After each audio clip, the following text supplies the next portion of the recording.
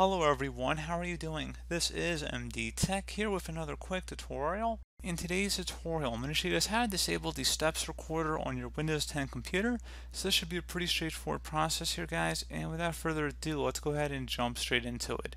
So in order to do that, we're going to start by opening up the Start menu, type in regedit, R-E-G-E-D-I-T, Best result should come back a registry editor. Go ahead and right click on that and select run as administrator. If you receive the user account control prompt, go ahead and select yes.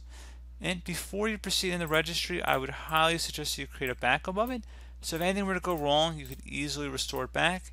In order to create the backup, it's very simple. All you have to do is select the File tab and then Export. File name, I'd recommend naming it the date that you are making the backup. Set export range to all and then save it to an easily accessible location on, your computer. And now we're ready to begin. So start by double clicking on the HK local machine folder. Do the same thing now for the software folder.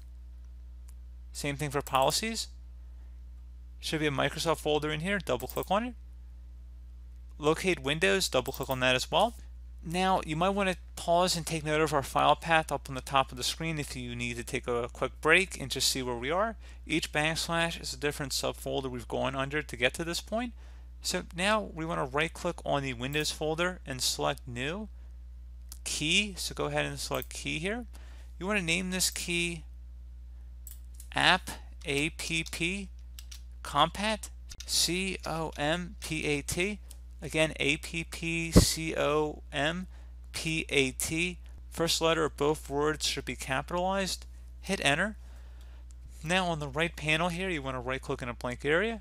Select new, and then select DWORD 32-bit value. You want to name this value disable UAR. So again, disable UAR, the D in disable and the UAR should all be capitalized. Go ahead and hit enter to save that. And now you want to go ahead and double click on this value, set it to 1, so delete the 0, type a 1, just a numerical value 1, select OK. And now if you close out of here, restart your computer, that should disable the step recorder. If you ever want to re-enable it rather than just going through the registry editor backup, you can just right click on this value and delete it entirely. So pretty straightforward process guys. I do hope that I was able to help you out. Like I said, restart your computer and that should be about it. So thanks for watching and I do look forward to catching you all in the next tutorial. Goodbye.